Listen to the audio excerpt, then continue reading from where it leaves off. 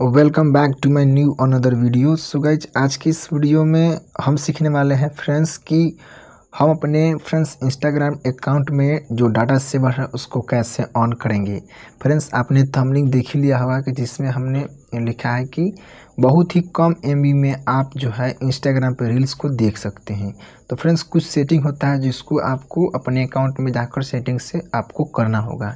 तो इस वीडियो में फ्रेंड्स हम लोग यही सीखेंगे। तो चलिए फ्रेंड्स आज के इस वीडियो को हमें स्टार्ट करते हैं। तो फ्रेंड्स हमने यहाँ पे इंस्टाग्राम ऐप जो है उसको ऑन कर लिया है। फ्रेंड्स ऑन कर लेने के बाद आपको यहाँ पे फ्रेंड्स आपका प्रोफ़ाइल जो होगा यहाँ पे शो हो जाएगा। आपको इस पर क्लिक कर देना। इस पर फ्रेंड्स आप जैसे ही क्लिक कर देंगे तो यहाँ पे फ्रेंड्स आपका प्रोफ़ाइल शो हो जाएगा। तो आपको यहाँ पे थ्री डॉट पे क्लिक कर देना है।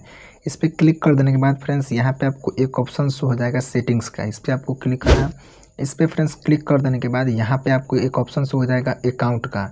इस पर फ्रेंड्स आपको क्लिक कर देना है।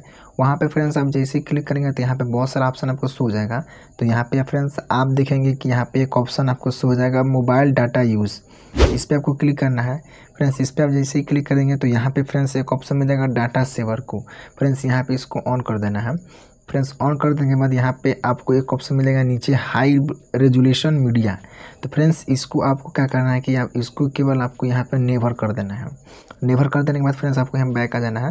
बैक आ जाएँगे तो फ्रेंड्स, इससे आपका क्या होगा कि आप अपने फ्रेंड्स इंस्टाग्राम अकाउंट से जितना भी रील्स को देखेंगे, फ्रेंड्स, कम एम में आप बहुत सारा रील्स को देख सकते हैं। तो आई होप आप फ्रेंड्स समझ गए होंगे फ्रेंड्स फ्रेंड्स अगर वीडियो पसंद आया हो तो वीडियो को लाइक कर दीजिएगा. चैनल पर पहली बार है चैनल को सब्सक्राइब कर दीजिएगा फ्रेंड्स मिलते हैं नेक्स्ट वीडियो में एक और इंटरेस्टिंग वीडियोज़ के साथ.